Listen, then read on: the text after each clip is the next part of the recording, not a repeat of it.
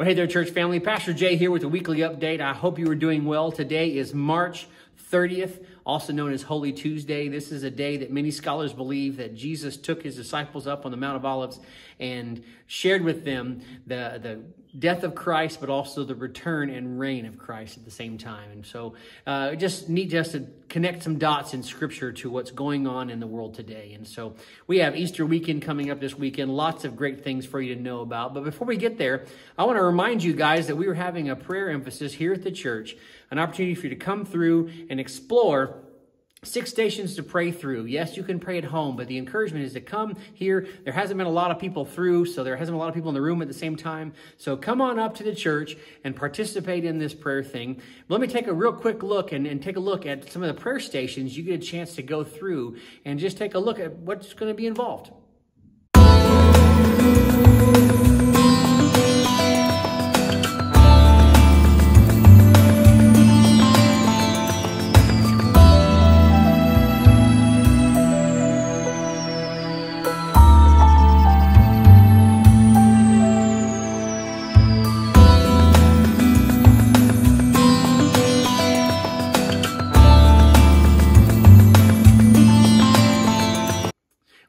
That's our, our prayer stations. I hope that you saw a little bit of what you can come and experience, and I hope that you're wanting to come and be a part of it. So there's prayer times tonight from 7 to 8, tomorrow night from 7.30 to 8, uh, Thursday there's going to be from 1 to 3 in the afternoon and again from 7 to 8, and then it's done. And then we're on to Friday, Good Friday, an opportunity for us to celebrate and look to and mourn the death of Jesus Christ on a cross but only mourn for a couple of days. That service Friday night is going to be at 6 p.m. We'll be in here. We'll be observing the Lord's Supper. I hope that you are uh, wanting to come and be a part of that. We're trying to make sure we have everything in place for social distancing and spacing out and, and just the things that we can to make sure that you know that we're thinking of you when you're, we're having and planning this service. And so, uh, so Good Friday's happening at 6 p.m. again, but then on Sunday morning, Easter, we're going to have normal church services, 9.30 life groups, 10, 11 o'clock worship. What a great opportunity for us to come and celebrate the, the, the, resurrected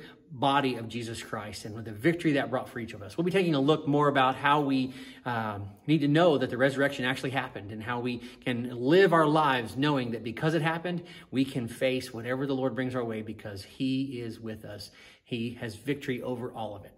And so that's definitely some great, exciting things for us to know. But this Sunday, when you show up, uh, we may have more people than we have in a while. So if you can, uh, go ahead and park a little further away from the church, maybe across the street in the west parking lot across the street, or uh, uh maybe just further out from there so that if we have any guests or visitors, they can park there and, uh, and know that that's just an opportunity for us to be nice to the people visiting our church. We've had quite a few visitors lately, so hopefully we'll have some more that are just interested to come and check out uh, what's going on. And if they come for Easter, we can share the message of Jesus Christ and leave the results to Him. And so, what a great thing for us to think about there.